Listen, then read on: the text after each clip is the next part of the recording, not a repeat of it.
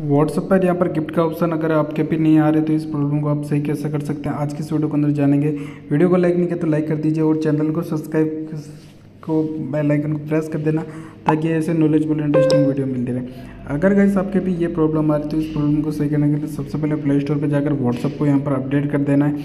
Update करने के बाद ये प्रॉब्लम आपकी सही हो जाएगी।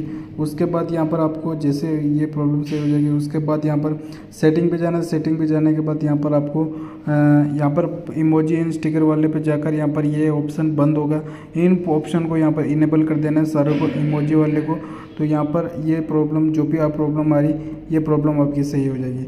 आई होप कि कैसे आपको वीडियो पसंद आया होगा। अगर कैसे वीडियो पसंद आई तो वीडियो को लाइक करना कमेंट करना शेयर करना। और नए हो तो चैनल को सब्सक्राइब करके बेल आइकन को प्रेस कर। चलो दोस्तों, आज के वीडियो में से नहीं फिर मिलते हैं नेक्स्ट वीडियो में। तब तक ले जय